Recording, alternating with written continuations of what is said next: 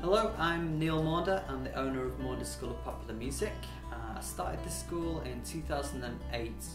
After working in music education for about seven or eight years, I was teaching for Trafford College, which was access to music, uh, as well as working part time, teaching guitar in a school, uh, teaching from home. I had um, around about 30 35 students at that time.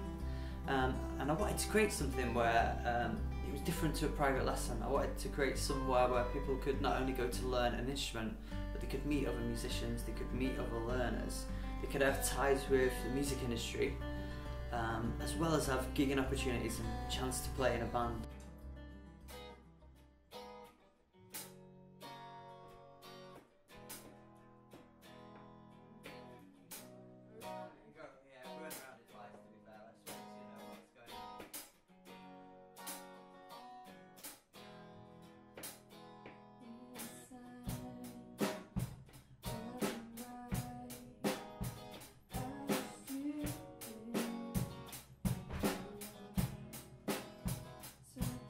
Two or three of us started it off in 2008 and we started with community centres just locally one day a week.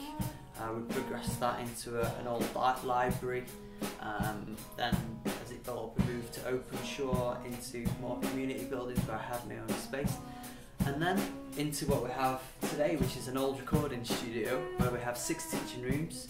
Uh, the room in right now was the, the old live room which was absolutely brilliant. We have drum booth just right behind me here um, with the soundproofing still in.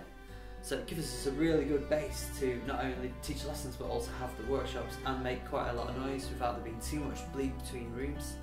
Um, so I started it with kind of bands in mind with teaching guitar, teaching bass, piano and keyboards, vocals and drums, um, but also providing workshop opportunities so young musicians and adults as well, of course, could meet each other and jam and perform. So we do music showcases every quarter. We've done things like 60s nights, or we've got a movie soundtracks coming up, uh, Halloween themes, things like that. Um, just so people can work to a bit more like they would in the music industry, with a bit of a, um, sort of task to, to adhere to, really, uh, and try to learn about different styles of music and things like that, uh, and go out and play some gigs. Our music uh, you know, tastes among the staff is massively varied. So I've made a point of employing metal specialists and a blues specialist, as well as popular music uh, vocal teachers, as well as an opera specialist, which I find works really brilliantly.